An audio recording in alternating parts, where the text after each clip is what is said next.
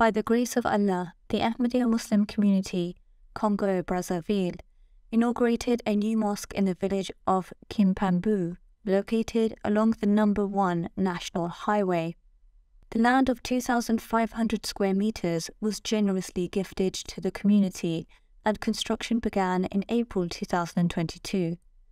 With the support of Humanity First Canada and the hard work of local men, women, and children, the mosque was completed within a few months.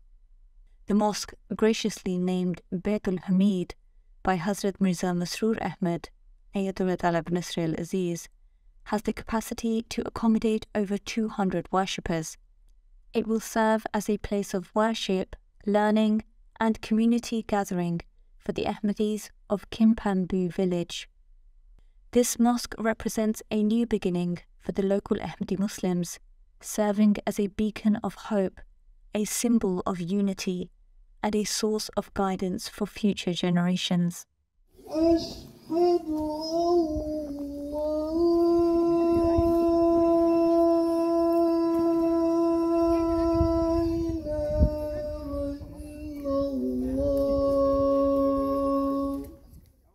Respected missionary in charge Sayyid Ahmed formally inaugurated the mosque by offering Friday prayers.